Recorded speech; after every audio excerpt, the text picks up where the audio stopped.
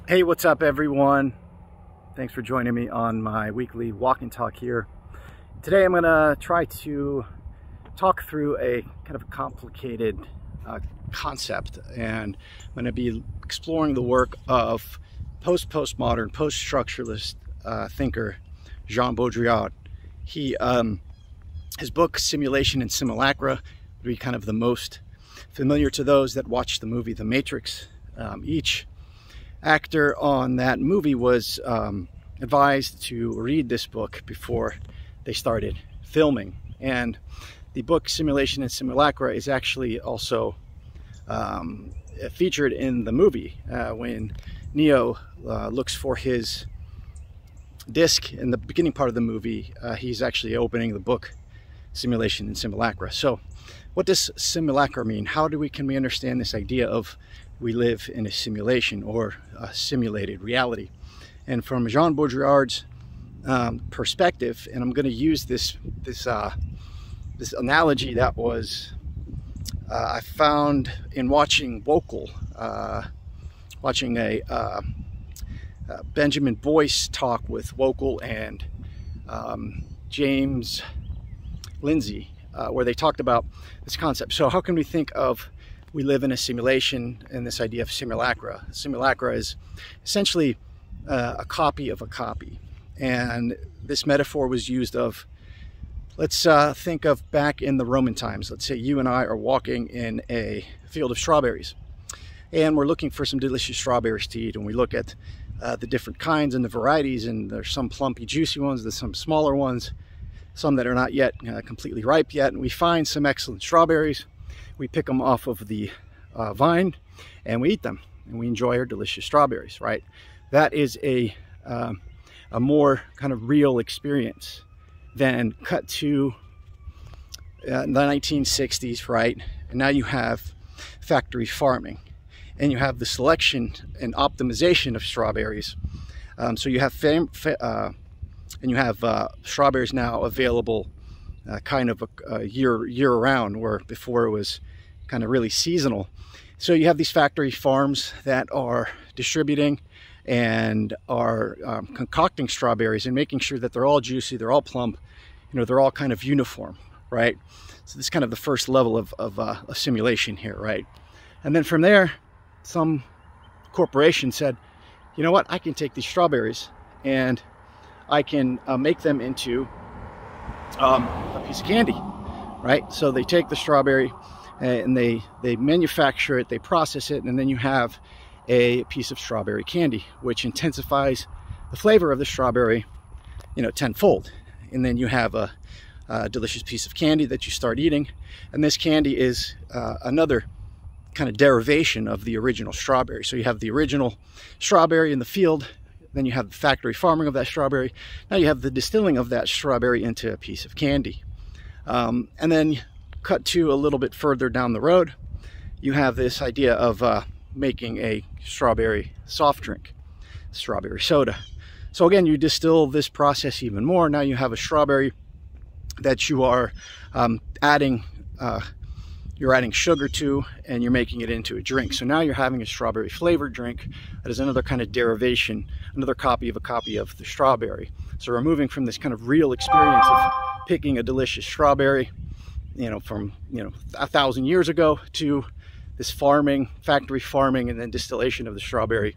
And then you have a, a corporation says, you know what, I'm going to intensify that strawberry flavor even more and I'm going to add corn syrup instead of uh, sugar, high fructose corn syrup, and I'm going to make it into a frozen slushy that you can get at, you know, 7-Eleven. And so people that are kids that are, you know, born in the 1990s, they have this delicious, this delicious sugary um, drink slushy that is just a highly intensified and derived flavor of the strawberry right? So it's even a more of a, uh, a derivation, right? So you got this simulation, this simulacra of strawberry, of the real strawberry uh, through this process of, of processing, right? So, and then you can you can take the, the analogy even further, or you can use any kind of uh, kind of um, any kind of product to think through this. Think of the pumpkin spice latte that you get at Starbucks, right? They've made, you know, hundreds of millions of dollars on this particular product. And the ingredients of a pumpkin spice latte, there's not even pumpkin in it, right? It's, it's there's nutmeg, nutmeg and, you know, other type flavors like that. So you don't even have the essential uh, pumpkin in this perspective. So you have just a kind of complete simulated experience of, of uh, the reality of eating a pumpkin or eating a strawberry. Now, take this process and you can extrapolate it and reflect it in any domain of our existence now, and specifically politics, right? There's this idea that you have a Republican and a Democrat party that they have essential differences and that uh, you are to vote for one and not the other. But this idea of what's happened to the strawberry has happened in our political space now, where you really have a kind of a, a, a faux political difference between the two parties. And you have someone like President Trump, former President Trump, who is essentially a WWE um, character. And you have this kind of heel uh, and baby face. So you have the good guy and the bad guy that you're rooting for. And it's and it's not really it's not really tied to actual policies or actual political work. It's tied to this superficial, you know, uh, uh, appearance, this copy of a copy of politics, and uh, it's essentially the kayfabe, the kayfabing, permeating all forms of life. Kayfabe is this concept from wrestling, from um, WWF back in the 90s, 80s. You know, you kind of had this, uh, you know, people thought that wrestling was real, and you kind of had this wink and, and, a kind of a wink to the um, to the camera and to the audience that hey, it's not real, it's not really real. So, you know, you don't really have to kind of worry about these people really hating each other or whatnot. And uh, this has now permeated our media. You know, with how CNN has completely become uh, co-opted you know, Fox News for the longest time, you know, kind of, you know, was this uh, caricature of a news uh, news agency, whether you agree with them or not, but they were just, they took this idea and ran with it. And, you know, CNN and MSNBC and all the other news corporations have taken that and intensified it even more, where it's hard to, to tell what is real and what is fake in terms of the news broadcast, in terms of the political, um, uh, the political news conferences, you know, you have Trump calling out the fake news. So you, and this kind of alleviates a little bit of the cognitive dissonance of kind of knowing that what they're doing and talking about, you know, isn't real. It's kind of like this kind of fake showmanship. Um, but that's left the collective psyche um, just completely overrun with this uh, uncertainty and this ambiguity of what's real. And um, so this is kind of the, you know, a, a short breakdown of this concept from uh, of simulation and simulacra from Jean Baudrillard. Um, so things have become, uh, th their appearances have become what's real, and not just their appearances, a copy and a derivation of their appearances. I mean, you can even apply this to the uh, the financial crisis, right?